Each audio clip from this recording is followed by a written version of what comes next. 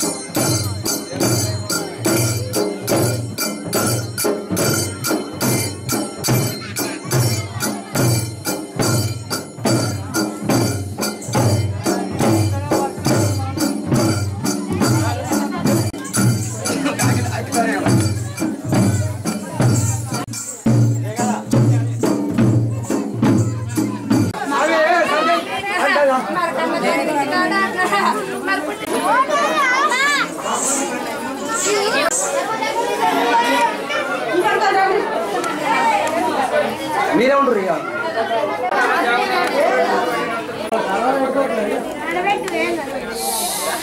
అమ్మ ఒక దూరం పెట్టాక అక్క ఒక దూరం పెట్టి పేరు కలిసి జాగ్రత్త మంచిగా పిల్లలు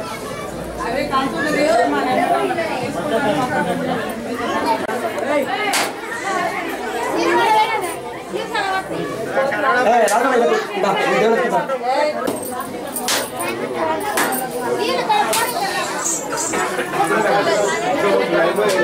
ఓకే, కరకల్. ఆ, మంగళం పట్టుకో. ఈరోజు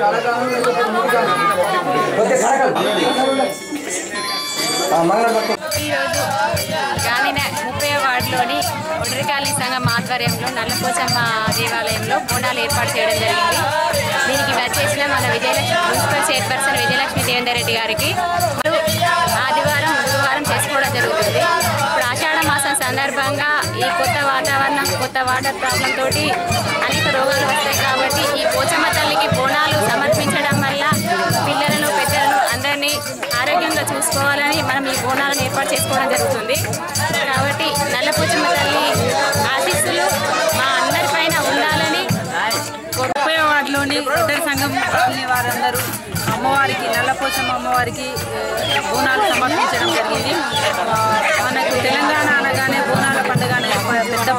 పెద్ద పండుగలు ప్రతి ఆదివారం కానీ బేసవారం కానీ ఈ బోనాలు తీయడం జరుగుతుంది.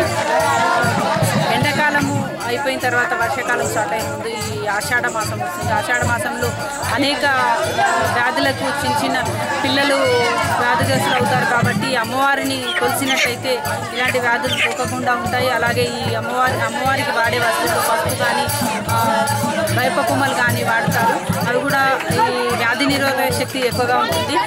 ఈ కాలంలో అవి మా కనుమరుగు అవుతున్న ఈ రోజుల్లో ఇలాంటివి పా- సాంప్రదాయాలను పాటిస్తూ పిల్లలకి కానీ పెద్దలకి కానీ ఎలాంటి వ్యాధులు సోకకుండా ఉండాలని అమ్మవారు ప్రతి ఒక్కరిని చల్లగా చూడాలని ఈ బోనం సమర్పించడం జరుగుతుంది. అంటే అమ్మ ఈ బోనం అనేది అమ్మవారికి